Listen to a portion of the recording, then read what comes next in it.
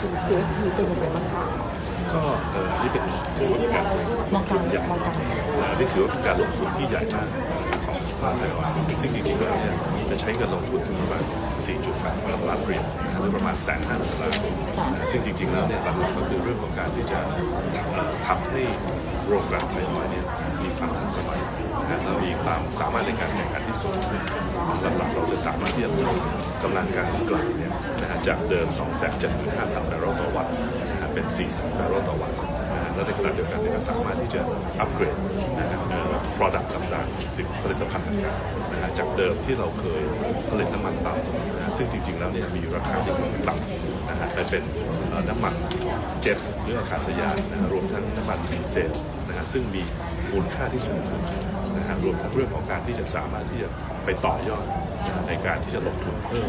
นะฮะที่จะไปสายปิโตรเคมีนะฮะไม่ว่าจะเป็น aromatics หรือ olefins นะฮะซึ่งก็จะสามารถที่จะทำให้ไทยออยล์มีความสามารถในการแข่งขันที่ดีขึ้นนะฮะที่ที่สูงขึ้นค่ะงบลงทุนโครงการเท่าไหร่คะแสนห้าหมื่นล้านนะฮะเอ่อใช้เวลาในการ ดำเนินโครงการประมาณสักสี่ปีจริงๆแล้วเนี่ยเราเริ่มมาประมาณปีหนึงแล้วนะฮะแต่ว่าปีแรกในส่วนใหญ่เป็นเรื่องของการออกแบบนะฮะตอนนี้เนี่ยการออกแบบก็เสร็จแล้วนะฮะเพราะฉะนั้นเนี่ยเราก็จะเริ่มก่อสร้างกันจริงจังนะฮะซึ่งก็จะใช้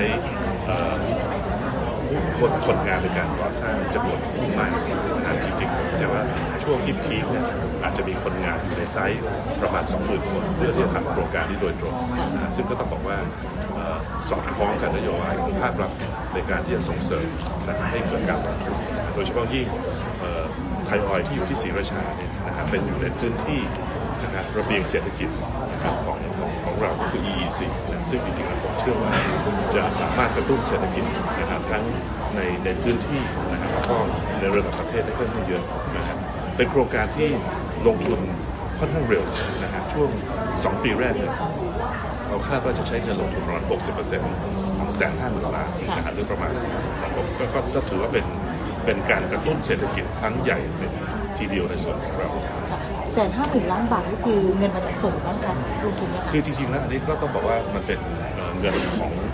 ธุรกิจที่เรามีอยู่แล้วนะส่วนหนึ่งเนี่ยเราก็จะได้เงินจากเอ่อเอ่อสภาพคล่องของเราในการดำเนินธุรกิจแต่ละปีแต่ละปีนะครับเอ่อในขณะเดียวกันเราก็จะมีการกู้เงินนะฮะซึ่งเอ่อ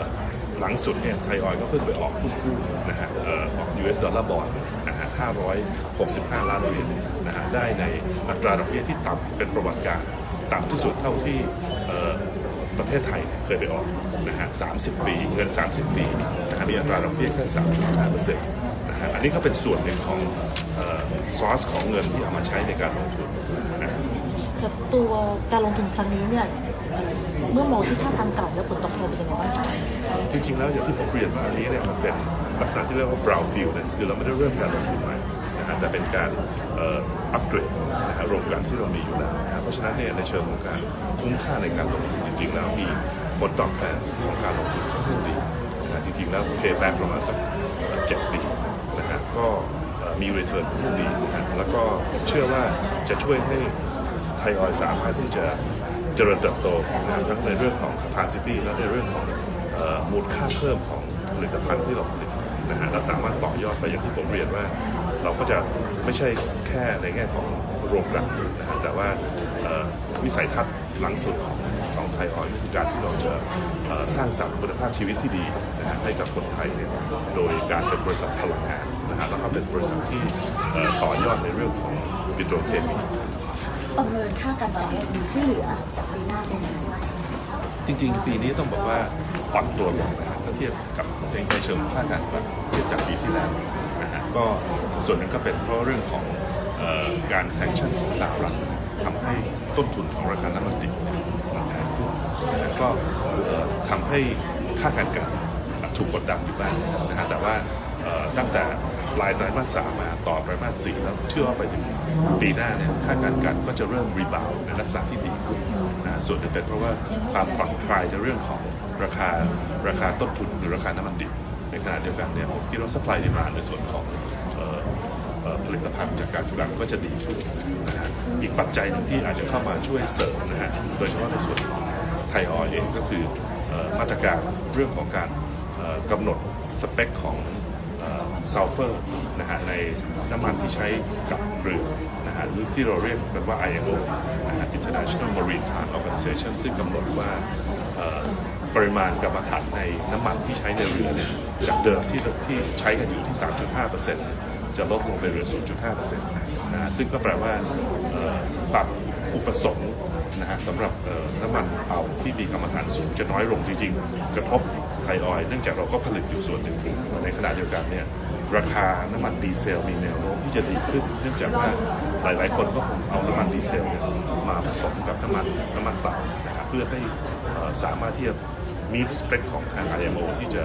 เริ่มใช้ในวันที่ 1 มกราคมในปีหน้านะฮะเพราะฉะนั้นในภาพรวมก็คือว่าราคาน้ำมันเปล่าจะลดลง แต่ราคาน้ำมันดีเซลจะเพิ่มขึ้น แต่ด้วยความที่ไทยออยล์เองผลิตน้ำมันดีเซลเนี่ยเป็นส่วนใหญ่ นะฮะสี่ห้าสิบเปอร์เซ็นต์ของเราเนี่ยเป็นน้ำมันดีเซลเราก็จะได้ผลดี